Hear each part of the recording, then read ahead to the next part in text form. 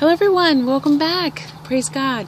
Uh, this is actually the second video today. Today is March the 19th, 2018, Monday, and I've I did a video earlier and I had this this pressing of an update of the second video and I wasn't sure if I was going to share it with you all um, but then I got even more information and it was like the Lord is saying get this out get this out now.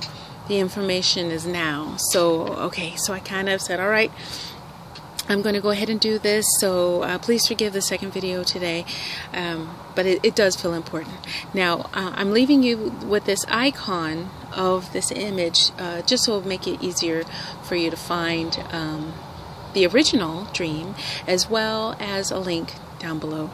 Okay, to sum it all up, I had a dream about a criminal and a police chief, and the criminal was caught quite easily and the police chief, instead of taking the, the criminal into the station and booking him and taking him to the court and all that, you know, the proper proceeding, this this chief gave him a kindness and took him to I want to say like a safe house or uh, it was like a home.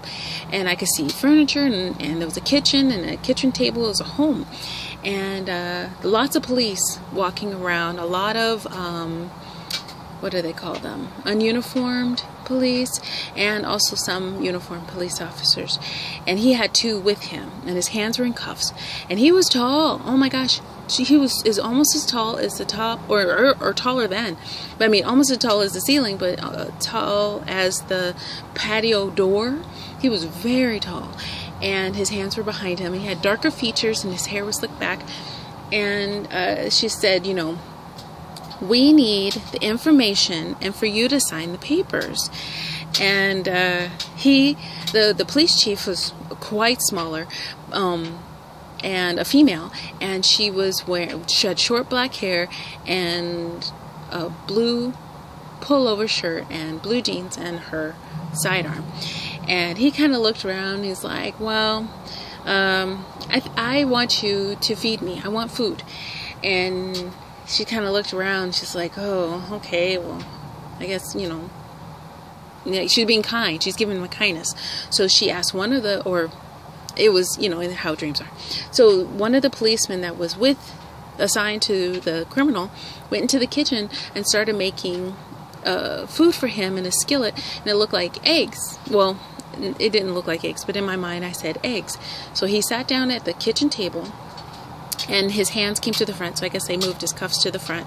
And he's still not running away or trying to get away or arguing or nothing. He's just really um, muted, you know, just kind of sitting there. And then the police officer put the plate in front of him. And these egg, it didn't look like eggs. They looked like grits or cornmeal or something, but it was dark, like the, there was a gravy, brown, something was on. It didn't look there was something wrong with him. Didn't look quite right. And he was just gobbling it up. And I was there and I had a child. I was holding the child and the child was in wrapped in a blanket. I, um, I want to say under a year old with brown hair sleeping. And the police came over and she took a glance at the baby and uh, you know kind of gave me a smile it's like oh beautiful like you know the expression was like oh you know baby and then she went back to the criminal and she's uh, she's like, you need to give us information and sign the papers. She went over to the back patio and was like frustrated, like, oh, this guy, you know, looking out the window, and it, I can see there was like a courtyard and people, and that could have been like my house because I wasn't a police officer and I wasn't involved in all that. So they might have just been in my home, and I was expecting another child. Um, so they, uh, let's see, I have to remember. Uh, so he was sitting at the table and he's getting like plate and plate after food of these quote unquote eggs.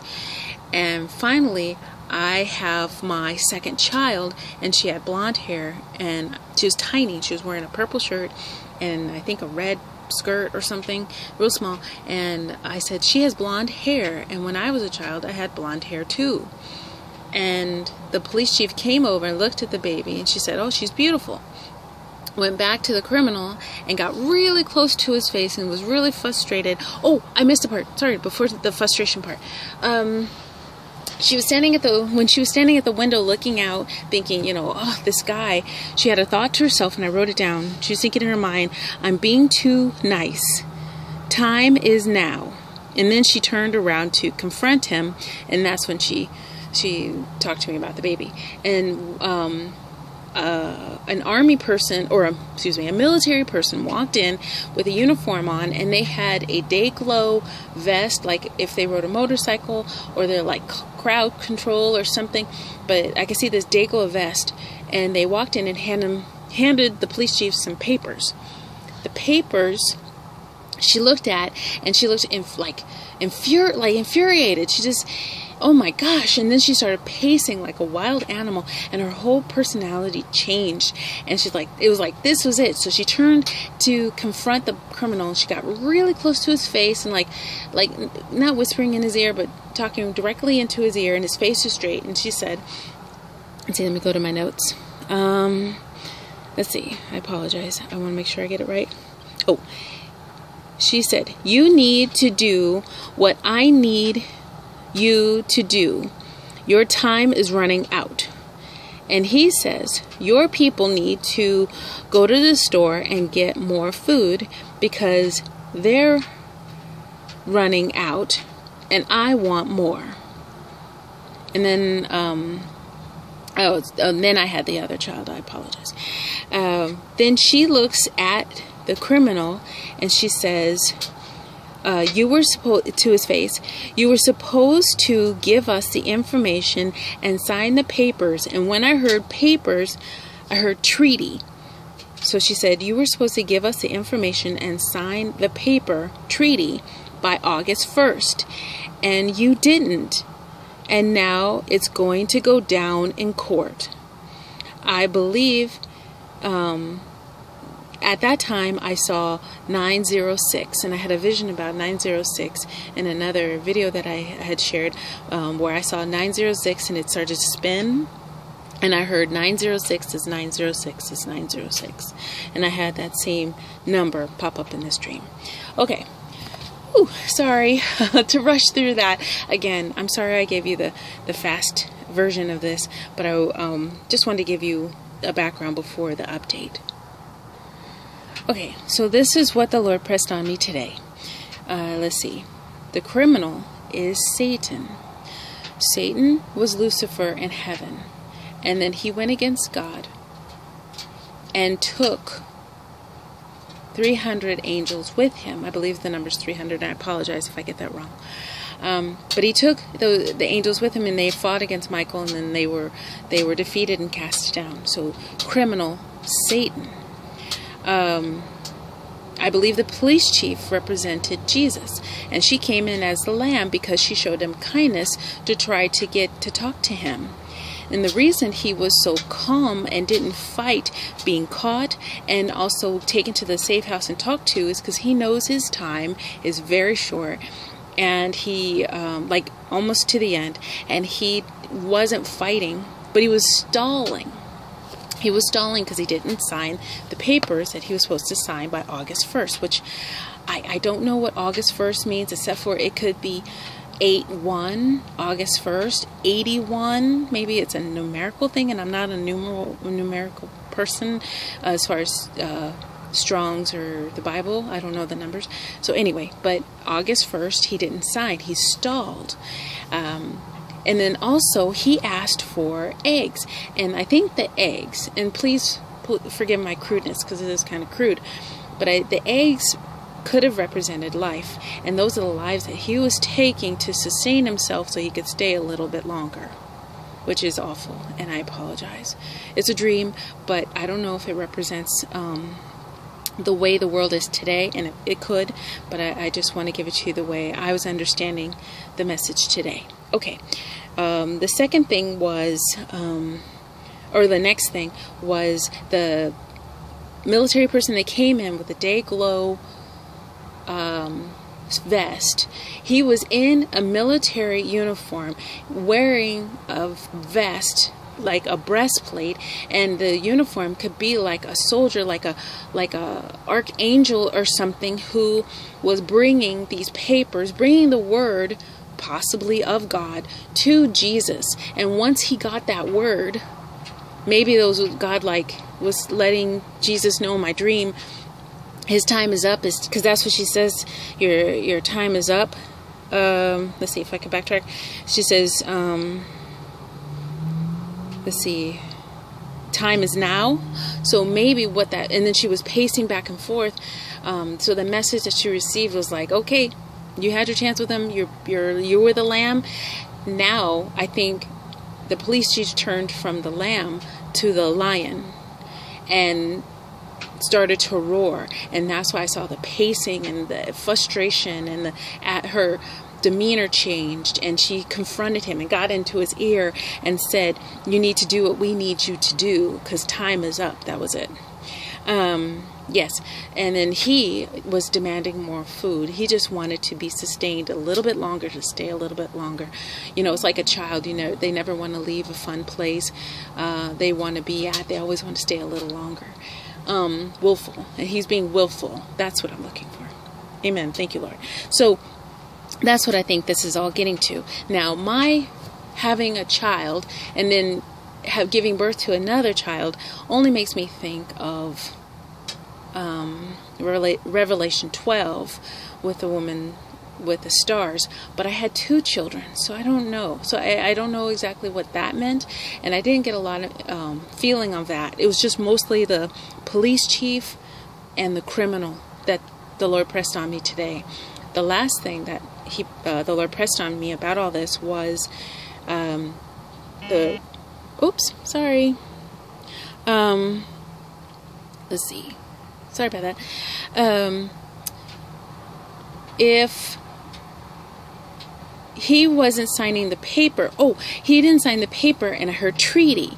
And the only thing I can think of is I did this video before because I did this February, this dream, the original dream, February 24th.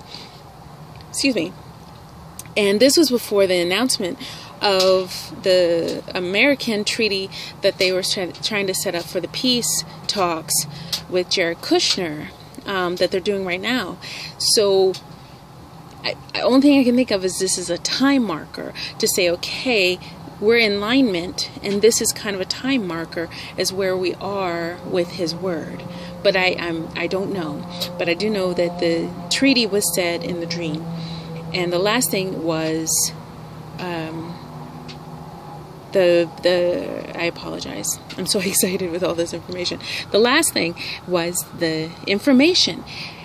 He said when you need to sign the papers, the treaty, and the information needed. I think the information is the names of the demons because we're supposed to we receive their name, sorry.